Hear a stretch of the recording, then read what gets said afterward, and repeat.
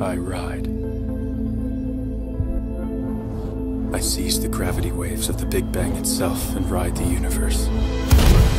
I am a ghost, a glimpse, too fast to be perceived by human sight. I slingshot through an expanding cosmos, swerving through the fiery debris of time and space as they violently coalesce.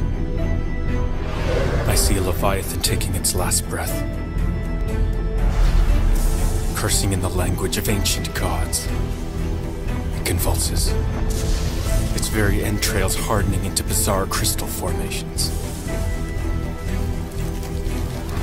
I witness a new realm being born. Shattered mirror image of creation replaying the same cosmic contest over and over. I see the masters of this realm, flamboyant new gods collecting mortal lives for their own vanity and entertainment.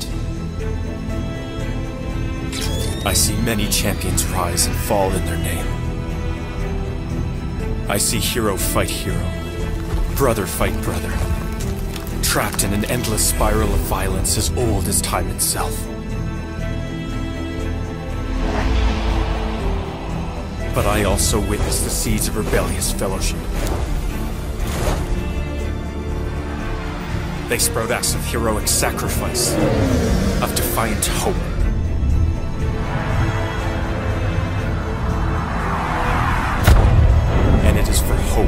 I break the barriers of space and time.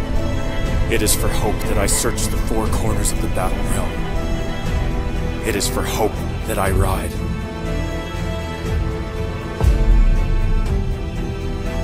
A long time ago, I made a promise to my friends. No matter how long it takes or how far I have to travel, I will fulfill that promise.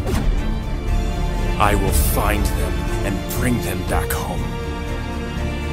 Thus spoke the Silver Surfer.